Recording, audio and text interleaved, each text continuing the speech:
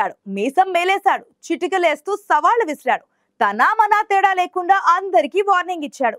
అధినేతను ఎవరన్నా ఏమన్నా అంటే ఏకి పారేశాడు. కట్ చేస్తే ఎన్నికల తర్వాత ఆయన గొంతు కూడా వినిపించడం లేదు. మనిషి కంటికి కనిపించడం లేదు. ఇంతకీ ఎవరైనా ఏమైపోయాడు? ఎక్కడున్నాడు?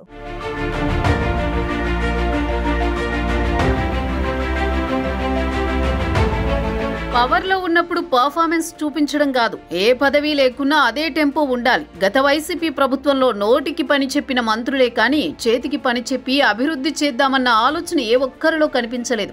వారిలో ముఖ్యంగా తొడలు కొట్టిన మాజీ మంత్రి ఒక ఆయన ఉన్నారు. ఆయనే నెల్లూరు కింగ్గా చెప్పుకునే అనిల్ కుమార్ యాదవ్. ప్రస్తుతం అనిల్ అన్న ఎక్కడున్నాడో వైసీపీ కార్యకర్తలకు కూడా తెలియడం లేదట. నెల్లూరు సిటీ నియోజకవర్గంలో ఎమ్మెల్యేగా రెండుసార్లు గెలిచిన కార్యకర్తల్లో ప్రజల్లో చివరికి తీవ్ర వ్యతిరేకతను కొని తెచ్చుకున్నారు అనిల్ కుమార్ యాదవ్.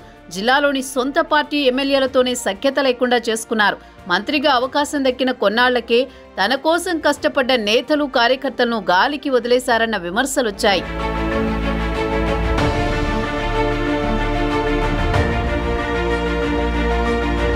వైసీపీ అధినేత వైఎస్ జగన్మోహన్ రెడ్డిని ఎవరన్నా ఏమన్నా అంటే చాలు. నోటికొచ్చిన భాషతో విరుచుకుపడేవారు అనిల్ కుమార్ యాదవ్. ప్రధానంగా జనసేన అధినేత పవన్ కళ్యాణ్పై అయితే రెచ్చిపోయి మాట్లాడారు అనిల్. అధినేత దగ్గర మరింత గుర్తింపు లభిస్తుందని ఆరాటంతో దురుసుగా మాట్లాడి నోటి పారుదల శాఖ మంత్రిగా పేరు తెచ్చుకున్నారు. నెల్లూరు జిల్లా వైసీపీలో ముసలానికి కారణమన్న అపవాదు ఆయన స్వయంకృతమేనంటారు. వైసీపీ నుంచి ఎంపీ అభ్యర్థిగా బరిలోకి నిలవాల్సిన వేమిరెడ్డి ప్రభాకర్ రెడ్డి టీడీపీలోకి వెళ్ళేందుకు అనిల్ ప్రధాన కారకుడిగా మారారు. నెల్లూరు సిటీలో అనిల్ ఓటమి తప్పదని గ్రహించిన వైసీపీ అధినేత జగన్మోహన్ రెడ్డి ఆయన్ని నరసరావుపేట ఎంపీ అభ్యర్థిగా పంపించారు. తాను నెల్లూరు సిటీకి తిరిగొస్తే అక్కడ బలమైన నేత ఎవరూ ఉండకూడదన్నది అనిల్ ఉద్దేశం. అందుకే డిప్యూటీ మేయర్ ఖలీల్ అహ్మద్ని తెరపైకి తెచ్చారు. కేవలం అనిల్ మాట కోసం ఖలీల్కి జగన్ టికెట్ ఇచ్చారని వైసీపీ వర్గాలు చర్చించుకున్నాయి. కానీ చివరికి నెల్లూరు జిల్లాలో వైసీపీ వాష్ అవుట్ అయ్యింది. సిటీతో పాటు అన్ని నియోజకవర్గాలను టీడీపీ క్లీన్ స్వీప్ చేసింది.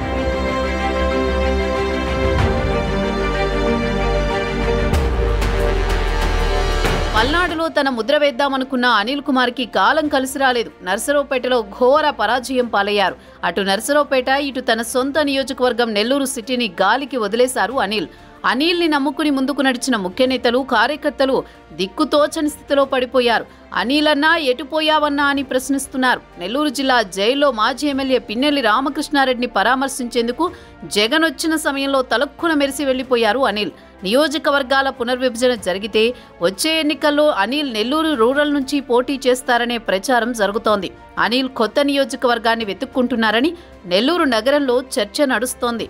జిల్లాలో మాజీ ఎమ్మెల్యేతో సఖ్యత లేని అనిల్ పొలిటికల్ ఫ్యూచర్ ఎలా ఉండబోతోందన్నది ఆసక్తికరం.